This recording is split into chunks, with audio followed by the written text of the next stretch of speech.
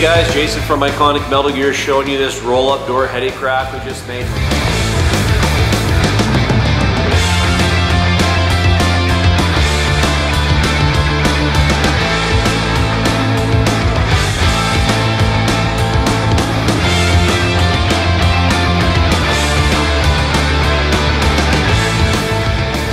This one's kind of unique. It's got uh, all stainless steel top light bar here with the truck's dual evolution lights. It's got the same ones down the side.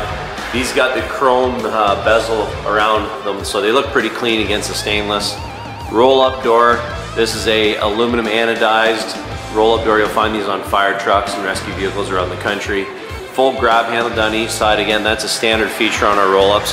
A little more unique on this one's got the tank built in, which was uh, not something we've done a ton of on these roll-ups yet, but it's got a notch built into it, so we had to figure that out. And uh, I'll show you the inside of this one. It's got some other unique features. So one hand rolls the door up, which is really nice.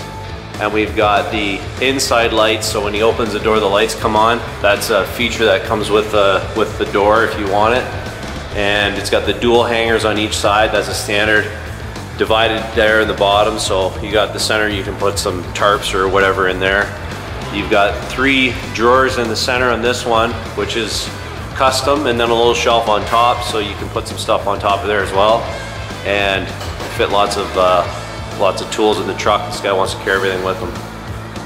For more products like this check us out at iconicmetalgear.com